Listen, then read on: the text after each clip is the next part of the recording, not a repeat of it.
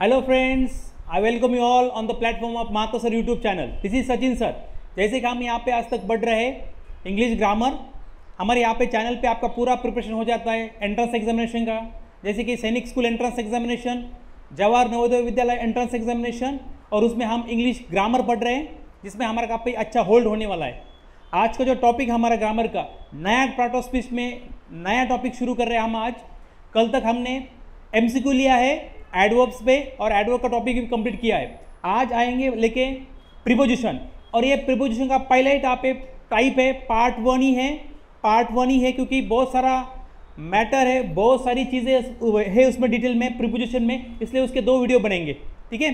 पहले पार्ट में हम जो बेसिक प्रिपोजिशन है वो डिस्कस कर लेंगे। उसके बाद दूसरा वीडियो आएगा प्रिपोजिशन पे, जो बाकी प्रिपोजिशंस रहेंगे, उस, उसके ऊपर हम डिटेल में डिस्कस कर लेंगे। ठीक है? I hope you are all with us हमारे साथ बने रहे, आपको आगे भी आपको उसका वीडियो मिल जाएगा, ठीक है? Okay without wasting time will start with the preposition ठीक है? प्रिपोजिशन का जो नया पार्ट ऑफ़ स्पीच है जो टॉपिक है, हम शुरू कर रहे हैं ठीक है? ओके पहले समझते हैं डेफिनेशन क्या है exactly what is preposition preposition होता क्या है? जैसे कि हमने अभी तक नाउन देखा है प्रोनाउन देखा है एडजेक्टिव देखा है एडवर्ब देखा है वर्ब भी देखा है वर्ब में ऑलरेडी हमने दो चीज़ देखे। एक helping verb verb and model auxiliary काफ़ी डिटेल में डिस्कस किया हमने। अगर ये वीडियो आपने देखा होगा तो कोई भी कॉन्सेप्ट आपका, यानी कि ऐसा सब कॉन्सेप्ट आपको क्लियर हो जाएगा। आई गारंटी यू ठीक है, काफ़ी हमने, देखो एग्ज़ाम में जिस तरह से क्वेश्चन पूछे जाते, उससे ज़्यादा हमने उसको अच्छे से डिटेल में डिस्कस किया है। यानी थोड़ा क्वेश्चन का लेवल एडवांस भी हो जाता है तो आपका क्वेश्चन का आंसर बराबर ही आएगा, अगर आपने वीडियो देखा है तो। अगर नहीं भी देखा होगा तो फिर से एक बार देख लीजिएगा। और अगर चैनल सब्सक्राइब नहीं किया तो एक बार चैनल सब्सक्राइब कीजिएगा। मातो सर यूट्यूब चैनल, आपको काफ़ी फ़ायदा होने वाला है इसका, ठीक है? हमारे साथ बने रहे। और दूसरी बात यह है कि हम तो ऑनलाइन पढ़ाते ही है, लेकिन उसके साथ साथ हमने ऑफलाइन बैच भी शुरू किया है। जिस किसी को एडमिशन लेना है, यहाँ पे एनरोल कर सकता है। मातो सर जो क्लासेस है हमारे यहाँ पे, आप मातो सर को मिल लीजिए और उनसे कांटेक्ट करके आप एडमिशन में एनरोलमेंट कर लीजिए, ठीक है? Admission okay without wasting time will start with the preposition preposition होता क्या है? प्रिपोजिशन एक वर्ड है, जो हम सेंटेंस में यूज़ करते हैं। ठीक है? जनरली हम क्या करते हैं? दो वर्ड को कनेक्ट करना, करने का काम करते हैं प्रिपोजिशन से। That means what preposition it is a word which connects two words हम दो कनेक्ट दो वर्ड्स को हम कनेक्ट करते हैं। तो वो दो वर्ड्स कौन से? नाउन नाउन हो सकते हैं। नाउन प्रोनाउन हो सकते हैं। नाउन वर्ब्स हो सकते हैं। नाउन एडजेक्टिव हो सकते हैं। कोई भी दो वर्ड वो कनेक्ट करता है। एक बात यहाँ पे इंपॉर्टेंट है, वो जो वर्ड है, सिर्फ़ यहाँ पे कनेक्ट करने का काम नहीं करता है तो वो दो वर्ड्स का रिलेशन भी बताता है। दोनों का रिलेशन क्या है, उसको भी वो दिखाता है। This word is called preposition यानी प्रिपोजिशन सिर्फ़ कनेक्ट करने का काम नहीं करता है, दोनों का रिलेशन भी बताता है। पहले हम डेफिनेशन देख लेंगे then will study example so that your understand will be better ठीक है? See preposition. Preposition it is a word or group of words use to use before or after the nouns ये noun के पहले या noun के बाद में आता है। और प्रोनाउंस प्रोनाउंस के बाद भी और प्रोनाउन के पहले भी आ सकता है। इन अ सेंटेंस कहीं पर भी आ सकता है preposition to establish a meaningful relationship between this two words यानी कि मैंने जैसे मैंने आपको बताया था, जो दो वर्ड्स को वो कनेक्ट करता है, दोनों का रिलेशन दिखाने का काम करता है वो दो वर्ड्स में रिलेशनशिप एस्टेब्लिश होती है, उसको हम क्या बोलते हैं? प्रीपोजिशन। ठीक है? यहाँ पे देखिए। एग्जांपल देखिए, आपका आइडिया एकदम क्लियर हो जाएगा, आपका जो कन्फ्यूज़न है मिसअंडरस्टैंडिंग और जो भी प्रॉब्लम्स है, आपका क्लियर हो जाएगा जब हम एग्ज़ाम्पल देखेंगे तब। ठीक है? यहाँ पे देखो। There is sugar in the pot यहाँ पे एक प्रीपोजिशन है, वो है इन यहाँ पे मैंने देखो अंडरलाइन भी किया है इन यानी यहाँ पे शुगर और द पॉट ये दो वर्ड्स को कनेक्ट करने का काम कौन करता है? In that is why in is what it is a preposition यहाँ पे देखो, वो सिर्फ़ कनेक्ट करने का काम नहीं कर रहा है, दोनों का रिलेशन भी बता रहा है। That is why it is a preposition कैसे देखो? देर इज़ शुगर अगर अगर हमने इनको निकाल दिया तो सेंटेंस क्या बनता है? There is sugar the pot यानी शुगर भी है और पॉट भी है। कुछ तालमेल नहीं समझ में आ रहा है हमें।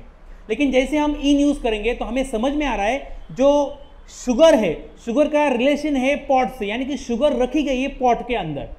जब हम यूज़ इन यूज़ करते हैं तो हमें समझ में आता है शुगर हमने पॉट के अंदर, बर्तन के अंदर रखी है। समझ में आ रहा है? That is why in is what preposition यानी कि इन सिर्फ़ कनेक्ट करने का काम नहीं कर रहा है। वो दोनों का रिलेशन भी बता रहा है। That is why in is preposition समझ में आ रहा है? नेक्स्ट एग्ज़ाम्पल देखिए।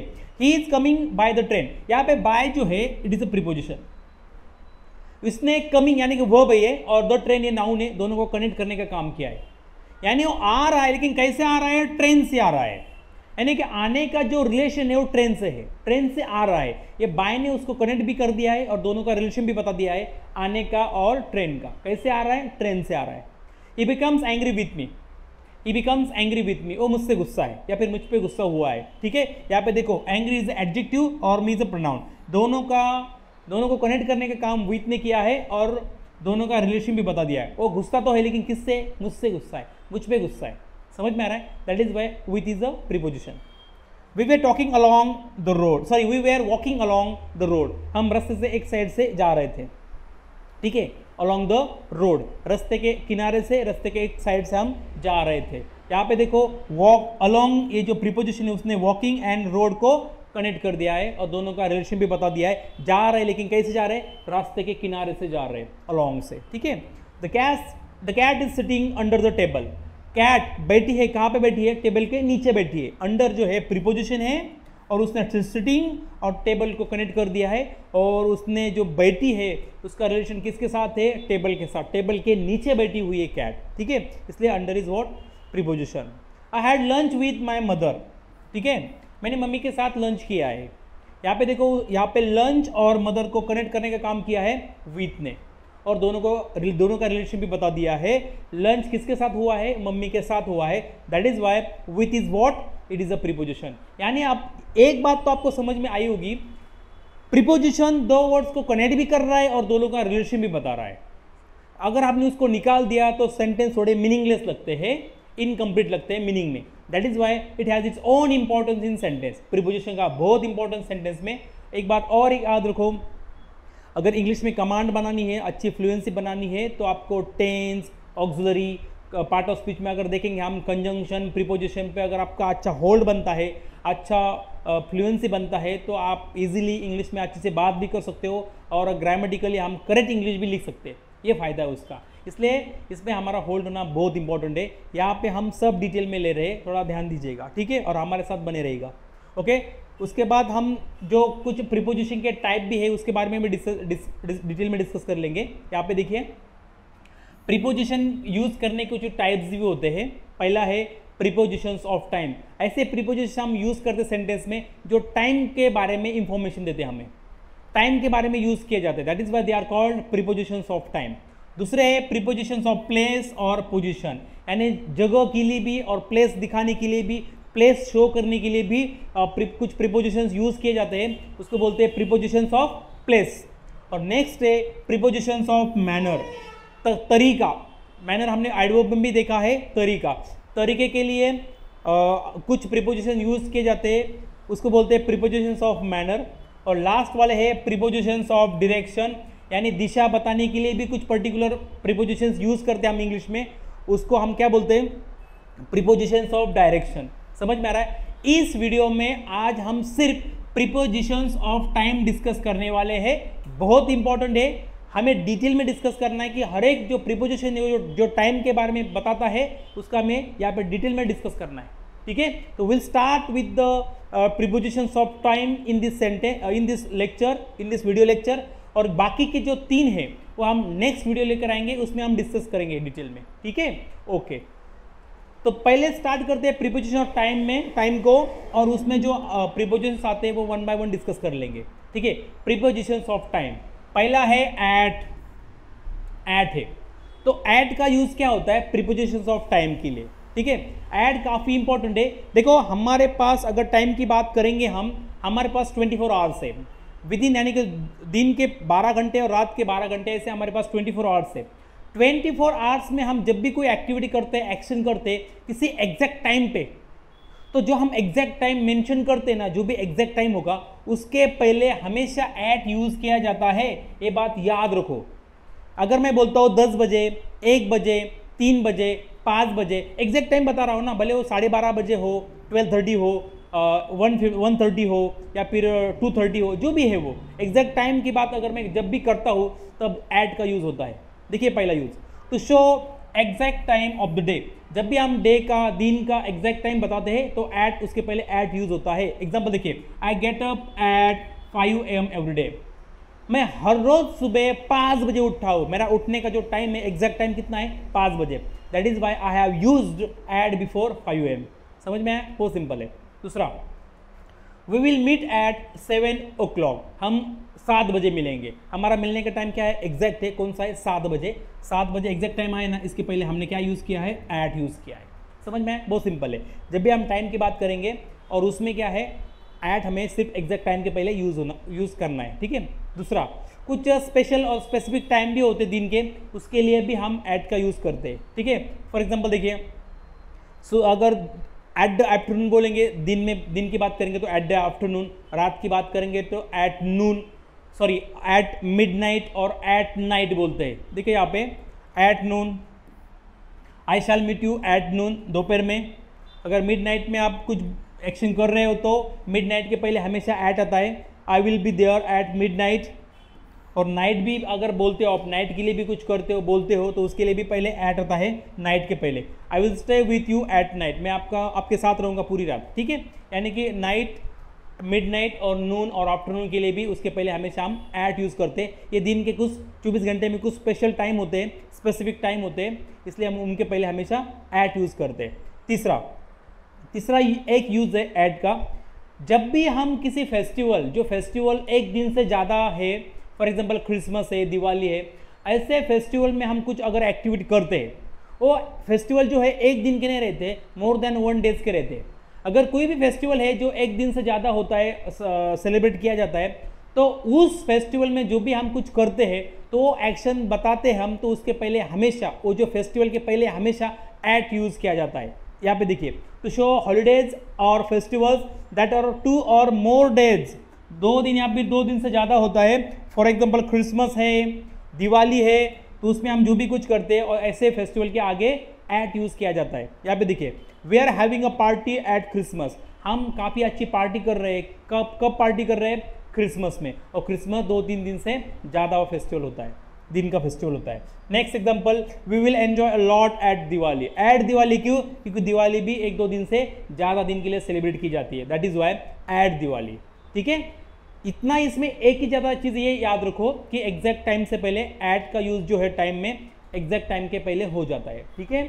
Okay will study now the next preposition on on भी बहुत इंपॉर्टेंट है। देखो, इससे क्या होता है? हमारे जो कॉमन एरर्स होते हैं इंग्लिश में, हम बोलते समय, लिखते समय, वो अवॉइड हम कर सकते हैं। अगर हम अच्छा उसका प्रिपरेशन करेंगे तो दिल से। ठीक है? ऑन देखो यहाँ पे। ऑन टाइम के लिए कब यूज़ होता है? जब भी हम जो डेज़ होते हैं Monday to Sunday Monday Tuesday Wednesday Thursday Friday Saturday Sunday यानी जो सात दिन हुए, जब भी हम कई सात दिन के बारे में बोलते हैं, कौन सा भी एक दिन, और सात दिन के बारे में लिखते हैं, कौन सा भी एक दिन हमें मेंशन करना है डेज़ के पहले हमेशा ऑन आता है, ये बात याद रखो। फॉर एग्ज़ाम्पल देखो I was absent on Monday मैं मंडे को एबसेंट एबसेंट था मंडे मैंने यहाँ पे ले लिया है, इसकी वजह से मैंने उसके पहले ऑन यूज़ किया है, क्योंकि ये डे है। Monday is what it is a day next देखो there is holiday on Saturday Saturday को क्या है? छुट्टी है। और यहाँ पे मैं सैटरडे की बात कर रहा हूँ। एक डे है, इसलिए डे के पहले क्या आया है? ऑन आया है। हमेशा याद रखो, डे के पहले हमेशा ऑन आता है। दूसरा है कि यूज़ है ऑन का, टू शो डेट्स। जो भी डेट होती है, डेट जिसमें तारीख आती है एक डे की, उसमें मंथ आता है और ईयर आता है। फुल डेट होती है, उसके पहले हमेशा ऑन यूज़ किया जाता है। फॉर एग्ज़ाम्पल देखिए I was born on first January two मेरा जन्म जो हुआ है फ़र्स्ट जनवरी 2000 में हुआ है। पूरी तारीख मैंने बताई है डेट बताई है मंथ बताया है और साल भी बताया है। अगर मैं इससे पूरी डेट बताता हूँ डेट के पहले हमेशा ऑन यूज़ किया जाता है। My exam is held on twenty fifth November 2024 मेरा एग्ज़ाम कब से शुरू हो रहा है? कब से है? फिफ्थ ट्वेंटी फिफ्थ नवंबर 2024 से। यानी कि एक फिक्स डेट बताई है, इसलिए हमने उसके पहले ऑन यूज़ किया है। यहाँ पे भी फिक्स डेट बताई है उसकी वजह से हमने उसके पहले ऑन यूज़ किया है। डेट के पहले हमेशा ऑन आता है, ये भी याद रखना है।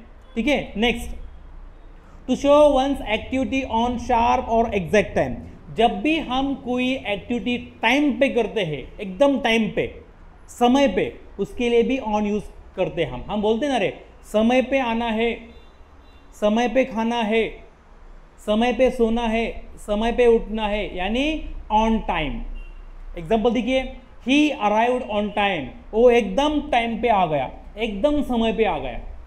ना पी, ना लेट उस, ना पहले, ना बाद में. एकदम टाइम पे आ गया. He reach on time for my exam I sorry I reach on time for my exam मैं एकदम बराबर टाइम से टाइम पे एग्ज़ाम पे पहुँच गया. एग्ज़ाम के लिए पहुँच गया. यानी ना एग्ज़ाम के ज़्यादा पहले, ना एग्ज़ाम के काफ़ी बाद. एकदम टाइम पे जो टाइम दिया था, उसी टाइम पे मैं वहाँ पे पहुँच गया हूँ. इसलिए ऑन टाइम समझ में आया होगा आपको ऑन के तीन यूज़ है जनरली डेज़ के लिए डेट के लिए, और एग्जैक्ट ऑन दूसरा ऑन टाइम के लिए समय के लिए, ठीक है? ओके नेक्स्ट प्रिपोजिशन है इन जैसे ऑन का यूज़ है, वैसे इन का भी यूज़ है. जनरली जब भी हमें मंथ्स की बात बोलनी है जनवरी टू दिसंबर जो हमारे पास 12 मंथ्स है जब भी हम किसी कोई मंथ को मेंशन करते हैं जनवरी से दिसंबर तक, उसके पहले हमेशा इन आता है। ठीक है? एग्जांपल देखिए। आई वॉज़ बॉर्न इन मई मेरा जन्म कौन से महीने में हुआ था? मई में हुआ था। मई को हम एक्सप्रेस कर रहे हैं। मई को बता रहे हैं। इसलिए उसके पहले इन। मई में। मेरा जन्म कब हुआ है? मई में हुआ है। समझ में आ रहा है? इसलिए यहाँ पे मंथ से पहले इन आता है। दूसरा हर एग्ज़ाम इज़ इन डिसम्बर उसका एग्ज़ाम कब है? डिसम्बर में है। फिर से हम मंथ के बारे में डिस्कस कर रहे हैं ना यहाँ पे।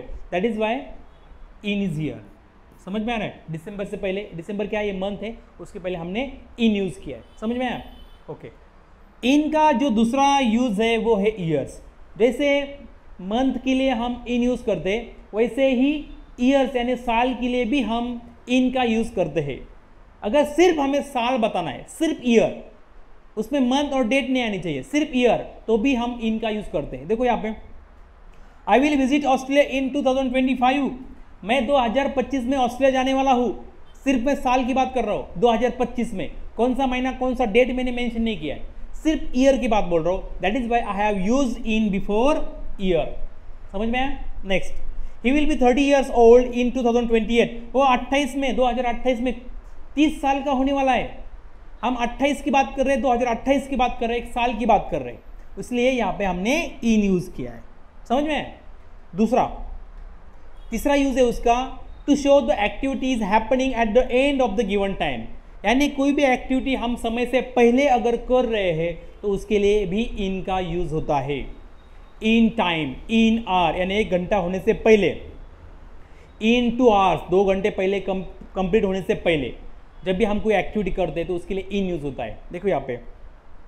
The teacher will come in an hour teacher एक घंटे में आ जाएँगे तो उसका मतलब ये है, एक घंटा खत्म होने से पहले आ जाएँगे।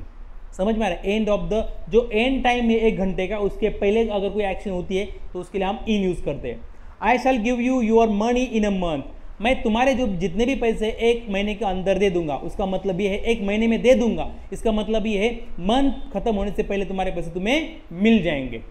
ठीक है? यानी कि जो टाइम दिया है, उसके पहले अगर कोई एक्टिविटी होती है एक्शन होती है तो इनका हम यूज़ करते हैं, ठीक है? यानी कि इनके भी तीन यूज़ है, जो आपको समझने हैं, बहुत इंपॉर्टेंट है, ठीक है? Okay will study the next preposition of time that is the within within means what जो टाइम दिया गया है, उस टाइम में कभी भी अगर कोई एक्शन होती है तो उसको हम विद इन यूज़ करते हैं उसके लिए। दिया हुआ टाइम अगर मैं बोलता हूँ विद इन अ मंथ एक महीने के अंदर, यानी एक तारीख से तीस तारीख तक कभी भी।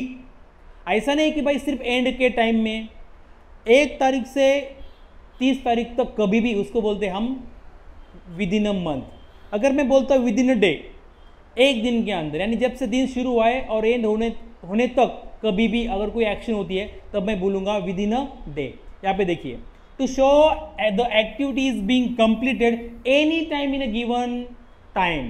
कभी भी हो सकती कंप्लीट एक्शन जो टाइम दिया गया है उसमें, तब आपको विद इन यूज़ करना पड़ेगा। यहाँ पे देखिए।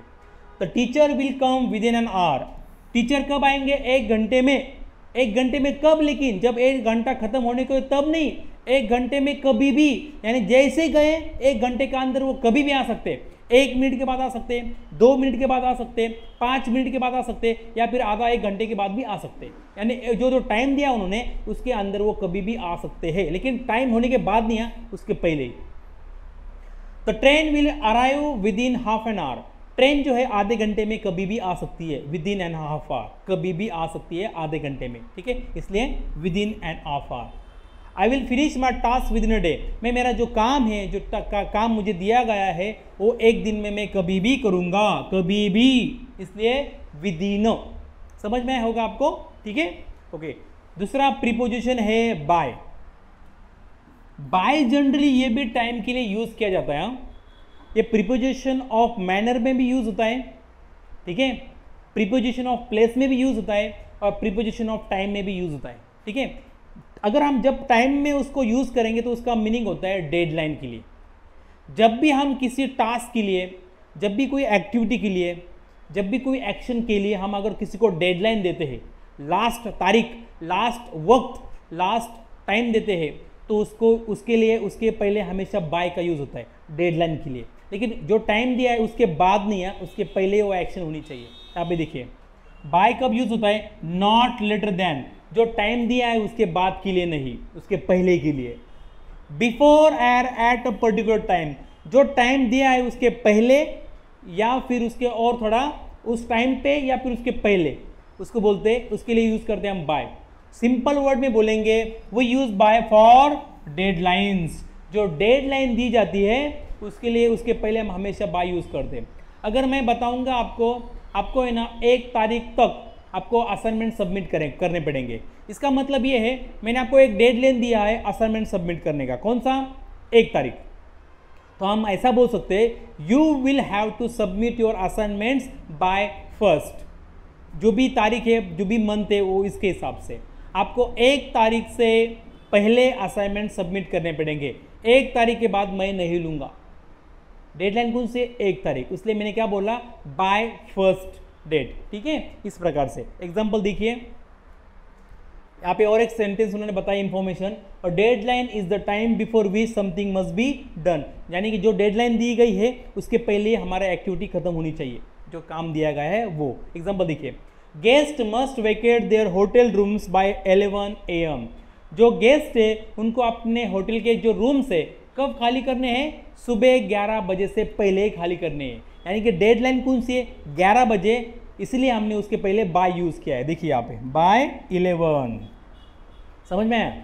Next please send us the payment by tomorrow आप हमें हमारा पेमेंट कर दो और मैंने डेडलाइन कब दिया है? टुमारो का। कल तक आपको आपका हमारा पेमेंट करना पड़ेगा। परसों हम नहीं लेंगे, लेकिन कल तक हमें चाहिए।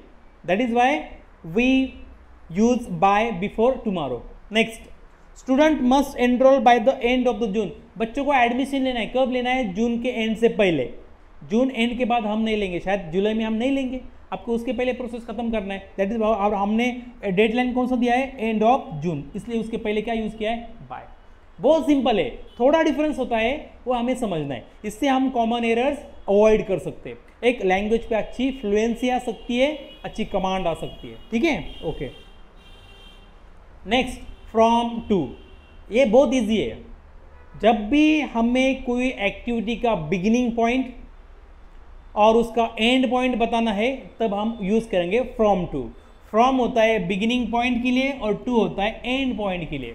फॉर एग्ज़ाम्पल हमारा यहाँ पे कोचिंग चलता है। फॉर एग्ज़ाम्पल बता रहा हूँ मैं। सुबह आठ से रात के आठ बजे तक। यानी कोचिंग का जो बिगिनिंग पॉइंट कब है? आठ बजे सुबह। और एंड पॉइंट कब है? रात के आठ बजे। यानी from 8 AM to to 8 P M आठ से आठ बजे तक, इस प्रकार से। जब भी हमें कोई बिगिनिंग पॉइंट और एंड पॉइंट बताना है टाइम के लिए, तब आपको यूज़ करना पड़ेगा फ्रॉम टू यहाँ पे देखिए। End activity from beginning point to end point example देखिए। The store is open from 9 AM to 6 P M every day जो दुकान है स्टोर हर रोज खुला रहता है। कब से कब तक? सुबह 9 बजे से शाम के 6 बजे तक। यानी नौ बजे का बिगिनिंग पॉइंट है और छः बजे का एंड पॉइंट है। एंड छः बजे के बाद दुकान बंद हो जाता है। समझ में आया? Next the conference will take place from Monday to Wednesday next week next week conference कब होने वाला है? कब आयोजित किया है? नेक्स्ट वीक में किया है। कब से लेकिन? मंडे उसका बिगिनिंग पॉइंट है और कब तक चलेगी? वेनसडे तक। Beginning point is Monday end end point is what Wednesday समझ में है next example our school work from 10 AM to 5 P M हमारा जो स्कूल है, जो वर्किंग रहता है, उसका जो चालू रहता है, उसका चालू रहने का टाइम कौन सा है? सुबह 10 से शाम के 5 बजे तक। बहुत सिंपल है। उसका स्कूल का जो ओपनिंग का जो टाइम है, वो होता है 10 से और एंड का टाइम होता है क्लोज का टाइम 5 बजे, यानी दिन भर चालू रहता है। इस प्रकार से। उसको हम, उसके लिए यूज़ करेंगे हम फ्रॉम टू ठीक है? नेक्स्ट प्रिपोजिशन फॉर फॉर यहाँ पे देखिए फॉर जनरली हम जो फॉर है ना प्रेजेंट परफेक्ट कंटिन्यूस टेंस में यूज़ करते हैं। जब भी कोई एक्शन बहुत टाइम से चल रही है, उसको बताने के लिए जनरली हम फॉर का यूज़ करते हैं। और फॉर कब यूज़ करते हैं, क्यों करते हैं? जब भी हमें एक्शन का जो हो रही है एक्शन उस एक्शन होने का अब तक कितना टाइम हो चुका है? एक टोटल पीरियड कितना हुआ है? एग्जैक्टली exactly वो टाइम बताने के लिए हम फॉर यूज़ करते हैं। देखो यहाँ पे it shows total period of time जो एक्शन शुरू हुई है पास्ट टेंस में, अब तक उसका एग्जैक्टली टाइम कितना हुआ है ड्यूरेशन कितना हुआ है, वो बताने के लिए हम फॉर का यूज़ करते हैं। That means it for shows total period of time example देखेंगे तो आपको समझ में आ जाएगा। देखो I have been studying for four hours यार, मैं फोर यानी कि चार घंटे से पढ़ रहा हूँ। मेरा जो पढ़ने का जो काम है, मैंने शुरू किया था पास्ट टेंस में, अभी तक मैं कर रहा हूँ, और अभी तक पढ़ने का जो टाइम कितना हुआ है?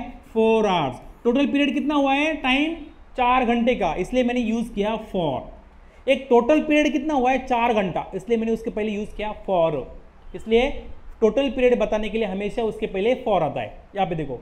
They have been playing for two hours यार टोटल पीरियड कितना हुआ खेलने का? दो घंटा। दो घंटे से वो खेल रहे हैं। समझ में आ रहा है? इसलिए for next it has been raining for a week एक हफ़्ते से बारिश हो रही है। कब से बारिश हो रही है? एक हफ़्ते से, यानी टोटल अभी तक बारिश हो रही है और अभी तक पीरियड कितना हुआ है? टाइम कितना हुआ है बारिश चालू है उसका?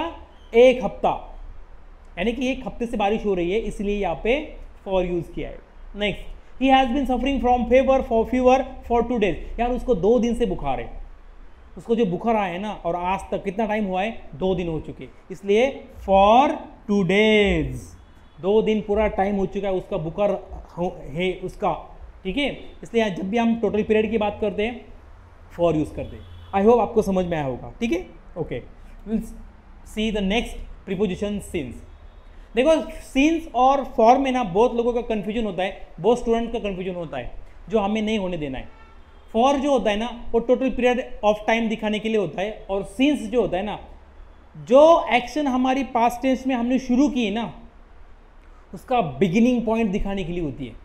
जब भी हमें कोई एक्शन का बिगिनिंग पॉइंट दिखाना है, जो पास में शुरू हुई है, उसका शुरुआत कब हुआ है, उस एक्शन का, जब भी ऐसा बताना है ना तो उस बिगिनिंग पॉइंट के पहले हमेशा सीन्स यूज़ होता है। ये बात याद रखो। देखो, उसका meaning since shows the beginning point of action in the past यानी पास्ट में जो हमने एक्शन शुरू किया है, उसका बिगिनिंग पॉइंट से पहले हमेशा सीन्स का यूज़ होता है। एग्ज़ाम्पल देखेंगे तो आपको समझ में आ जाएगा और आपका जो फॉर और सीन्स वाला जो कन्फ्यूज़न है, वो भी क्लियर हो जाएगा। यहाँ पे देखिए। I have been studying since this morning मैंने पढ़ाई तो शुरू की है पास्ट टेंस में, उसका लेकिन बिगिनिंग पॉइंट कहाँ पे है? आज सुबह से ही शुरू की है। मैं ये नहीं बता रहा हूँ मैं कितने टाइम से पढ़ाई कर रहा हूँ। पढ़ाई मैंने कब स्टार्ट की है, मैं सिर्फ़ ये बता रहा हूँ। कब शुरू की है? सुबह। आज सुबह। इसलिए मैंने यहाँ पे सिंस यूज़ किया है। सेकेंड एग्ज़ाम्पल देखते हैं। They have been playing since ten AM वो दस बजे से खेल रहे हैं। यानी उन्होंने खेलने का जो एक्टिविटी है, जो एक्शन है, वो पास्ट टेंस में शुरू किया है और उनका शुरू करने का जो एक्टिविटी है, वो कब से था? दस बजे से। इसलिए हमने यहाँ पे सीन्स यूज़ किया यानी कि बिगिनिंग पॉइंट कितना है? दस बजे। It has been raining since last Monday last Sunday से यानी पिछले सोमवार से बारिश हो रहा है। बारिश शुरू हुआ है, आज तक शुरू है, लेकिन बारिश शुरू होने का बिगिनिंग पॉइंट कब से है? कब है? मंडे और वो भी कौन सा? लास्ट मंडे पिछले वाला सोमवार से बारिश हो रही है, इसकी वजह से तीन से यहाँ पे यूज़ किया है। बारिश का बिगिनिंग पॉइंट है लास्ट मंडे उसके पहले बारिश नहीं थी, उस तब से शुरू हुई है। He has been suffering from fever since yesterday उसको बुखार तो है, लेकिन बुखार कब आया उसका? बिगिनिंग पॉइंट कब है? यस्टरडे कल से ही उसको बुखार है। उसके पहले नहीं था, इसकी वजह से यहाँ पे हमने सीन्स यूज़ किया है। आई होप आपको फॉर और सिंस का कंफ्यूजन दूर हुआ होगा। ठीक है? ओके नेक्स्ट जो प्रीपोजिशन है टील और अनटिल लगभग दोनों का मीन सेम ही होता है। टील और अनटिल का मतलब होता है तब तक। जो भी टाइम देते हम, उस समय तक।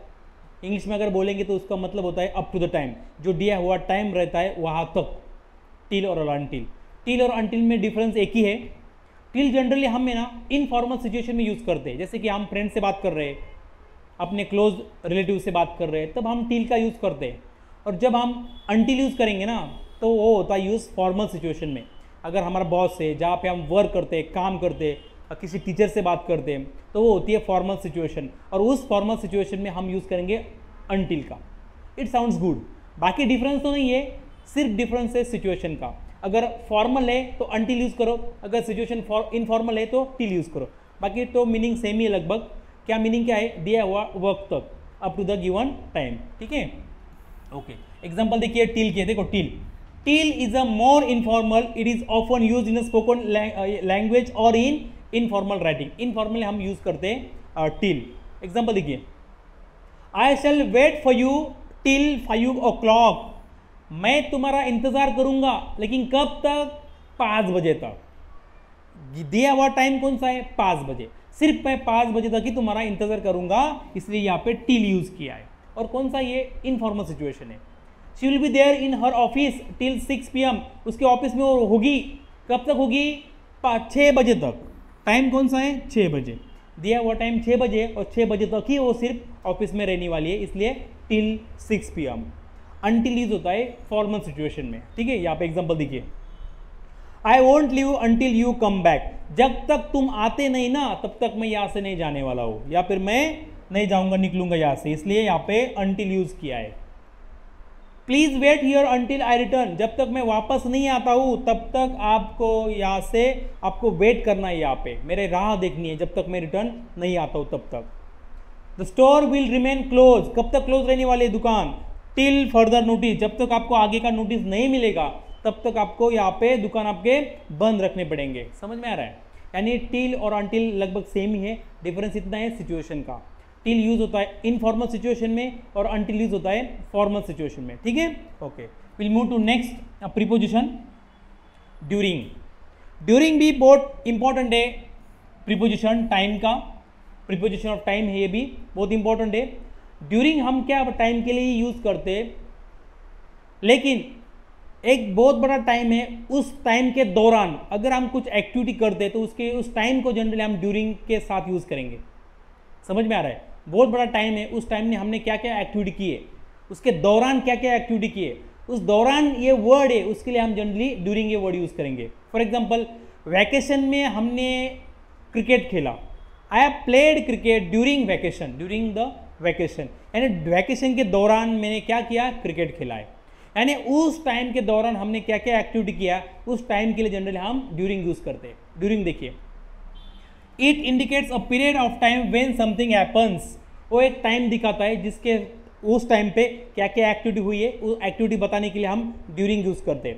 It is commonly use to show the time within which an event occurs जो बड़ा टाइम है उसमें क्या क्या एक्टिविटी हो गई है, उसको बताने के लिए उस टाइम को हम टाइम के लिए ड्यूरिंग वर्ड यूज़ करते हैं और एन एक्शन टेक्स प्लेस उसके दौरान कौन कौन सी घटनाएँ हुई है कौन कौन सी एक्शन हो गई है, वो बताने के लिए हम क्या यूज़ करते हैं? ड्यूरिंग यूज़ करते हैं. ठीक है? एग्ज़ाम्पल देखिए. ड्यूरिंग द मीटिंग यानी मीटिंग के दौरान मीटिंग जितने भी टाइम का था, एक घंटे का, दो घंटे का, उस टाइम के दौरान क्या हुआ है? शी प्रेजेंटेड हर प्रपोजल उसने अपने प्रपोजल रखा है. ठीक है? She presented her proposal time कौन सा है? मीटिंग का। इसलिए मीटिंग के दौरान, ठीक है? We went for a walk during the afternoon afternoon का जो टाइम है दो तीन घंटे का, उसके दौरान क्या हुआ है? We went for a walk हम चलने के लिए, थोड़ा वॉक के लिए चले गए। वही वॉक के लिए हम चले गए उस टाइम के दौरान। टाइम कौन सा था? आफ्टरनून का। इसलिए during next he fell asleep during the movie वो सो गया है, लेकिन सो जाने का उसका टाइम कौन कौन से वक्त के दौरान वो सो गया? मूवी जो चल रहा था उस वक्त के दौरान वो सो गया, इसलिए ड्यूरिंग द मूवी समझ में आया आपको? देखो यहाँ पे। The fire alarm sounded fire alarm बजा है। During the night right night के टाइम में बजा है। जब नाइट स्टार्ट हुई तब से एंड होने तक, जो उसके टाइम के जो दौरान है, दौरान, तब क्या बजा है? फायर अलार्म बजा है। ठीक है? इसलिए यहाँ पे ड्यूरिंग टाइम कौन सा है? नाइट का। They travel to Europe Europe गए हैं। कौन से दौरान गए? ड्यूरिंग समर समर यानी कि जो समर वैकेशन में जो छुट्टियाँ मिलती है शायद, उस छुट्टियों में वो कहाँ गए? यूरोप गए। घूमने के लिए गए। उस टाइम के दौरान। कौन से टाइम के दौरान? समर के वैकेशन के दौरान वो यूरोप घूमने गए। यानी दौरान जब आप ऐसा वर्ड यूज़ करते उस टाइम के दौरान, और क्या क्या एक्टिविटी हो गई है कौन कौन से इवेंट्स हो चुके हैं, वो बताने के लिए आप जनरली ड्यूरिंग का यूज़ करेंगे। ठीक है? इस प्रकार से ये जो थे सब प्रिपोजिशन ऑफ़ टाइम है। इससे भी ज़्यादा भी है, लेकिन मैंने यहाँ पे इंपॉर्टेंट इंपॉर्टेंट कवर किए हैं, जो बहुत इंपॉर्टेंट है, और जनरली उसी पे ही रिपीटेडली क्वेश्चन पूछे जाते हैं। ये जो प्रिपोजिशन है, और जो हम यहाँ पे पढ़ा पढ़ा रहे हैं आपको, जो डिस्कस कर रहे हैं हम आपको, वो सिर्फ़ आप एग्ज़ाम पॉइंट ऑफ़ व्यू से मत पढ़िए, अपना लैंग्वेज इंप्रूव करने के लिए और लैंग्वेज डेवलपमेंट के लिए भी आप उसका स्टडी कर सकते हो। क्योंकि हम काफ़ी डिटेल में यहाँ पे डिस्कस कर रहे हैं, ताकि आपकी कोई क्वेरीज नहीं रहेगा। अगर फिर भी आपको कोई क्वेरीज है तो आप कमेंट बॉक्स में उसको कमेंट लिख दीजिएगा। वो कमेंट हमारे पास पहुँच जाएगी और उस प्रॉब्लम को, उस क्वेरी को हम जल्द से जल्द सॉल्व करने की कोशिश करेंगे। ठीक है? आप हमारे साथ बने रहे। हमारा जो चैनल है यूट्यूब मातो सर यूट्यूब चैनल उसको सब्सक्राइब कीजिएगा। अगर ये वीडियो बहुत आपको अच्छा लगा होगा तो उसको लाइक कीजिएगा, ज़रूर कीजिएगा। और आपके फ्रेंड्स में उसको शेयर कीजिएगा। ताकि देखो, आप जब लाइक करेंगे सब्सक्राइब करें, करेंगे तो हमें बहुत खुशी होती है और हमारा भी कॉन्फिडेंस बढ़ जाता है, ठीक है? तो हम आपको ऐसे नए नए वीडियोस लेके आएँगे आपके लिए फिर से आगे। उसके, अभी देखो, ये जो टॉपिक आज हुआ ना, हमारा प्रिपोजिशन पार्ट वन था। इसमें हमने सिर्फ़ एक ही पार्ट यानी कि प्रिपोजिशन ऑफ़ टाइप ही डिस्कस किया है प्रिपोजिशन ऑफ़ टाइम आगे के वीडियो में हम बाकी जो जितने भी टाइप्स है, वो सब डिस्कस कर लेंगे, ठीक है? प्रिपोजिशन टाइप जो जो टॉपिक है थोड़ा बड़ा था, इसलिए उसके दो वीडियोस बनेंगे। इसलिए आप नेक्स्ट वीडियो भी ज़रूर देख लेना, जो हम आपको जल्द से जल्द उसको लेके आएँगे। ठीक है? आई होप सो कि भाई आपको ये वीडियो अच्छा लगा होगा लगा होगा। Thank you thank you very much जय हिंद, जय भारत।